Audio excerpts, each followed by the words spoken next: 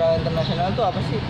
Oh, perdagangan internasional yaitu perdagangan yang dilakukan oleh penduduk suatu negara dengan penduduk negara lain atas dasar keputusan bersama. Oh, jadi itu pengertian dari perdagangan internasional. Nah, manfaatnya apa sih? Eh, manfaatnya yaitu memperoleh barang yang tidak dapat diproduksi di negara sendiri, terus memperoleh keuntungan dari spesialisasi, terus memperluas pasar dan menambah keuntungan. Yang terakhir itu transfer teknologi modern.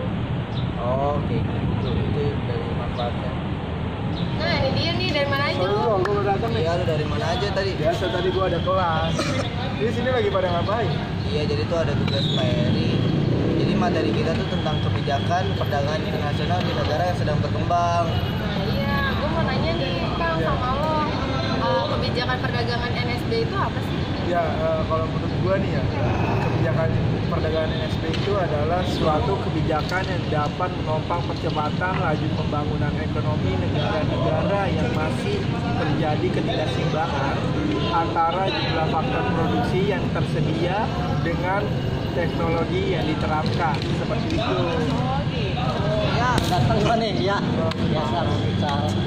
Di bilang apa ini?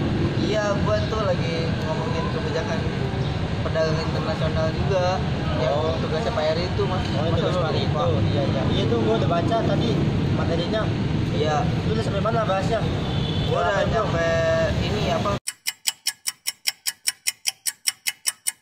Tujuan perdagangan internasional. Kira-kira lu tau gak sih bro? Oh, tujuan kebijakan itu ada tiga.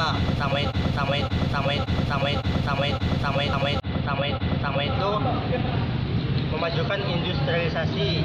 Nah, yang kedua itu mengatasi masalah pembangunan yang tidak merata di dalam perekonomian domestik. Nah, yang ketiga itu berupaya untuk melepaskan hubungan ekonomi yang tidak adil. Nah, itu ada tiga jadi tujuan kebijakannya.